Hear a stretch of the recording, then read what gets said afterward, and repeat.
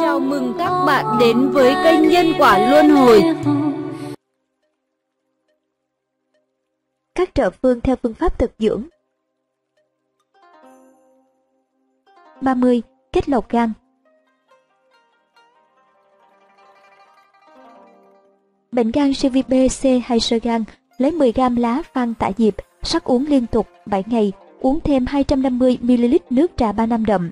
Nếu bị khối u gan, lấy 12g lá phan tại diệp, sắc uống liên tục 7 ngày. Ngoài ra uống thêm 250 nước trà 3 năm đậm.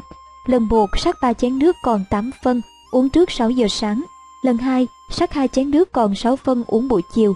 Khi uống lá thuốc này sẽ đi cầu sổ liên tục mỗi ngày từ phân đen sang phân xanh, đến phân vàng thì không uống lá thuốc này nữa. Vì gan đã được lọc sạch, nếu thấy sức khỏe yếu thì ngưng không dùng lá thuốc này nữa. Nếu sức khỏe tốt thì uống tiếp để sổ đến khi đi phân vàng thì ngưng. Sau khi gan đã sạch, chân kết thủy, hai củ nhỏ, lão sơn sâm giả nát, 10 lá trà ba năm, 5 hạt câu kỹ, nửa xì nước, chưng trong 30 phút sau đó chắc nước này ra chén rồi chế thêm nửa xì nước vào hỗn hợp này, cũng chưng thêm trong 30 phút. Uống nước này 3 ngày để tăng cường sức khỏe trong 10 ngày.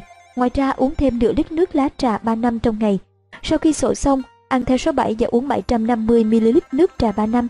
Ngoài ra, tối trước khi đi ngủ cần ăn bột sáng dây để cải thiện đường ruột do quá trình đi tiêu chảy. Sau 3 tuần kể từ ngày đi phân vàng có thể đi xét nghiệm để kiểm tra xem gan đã tốt hay chưa.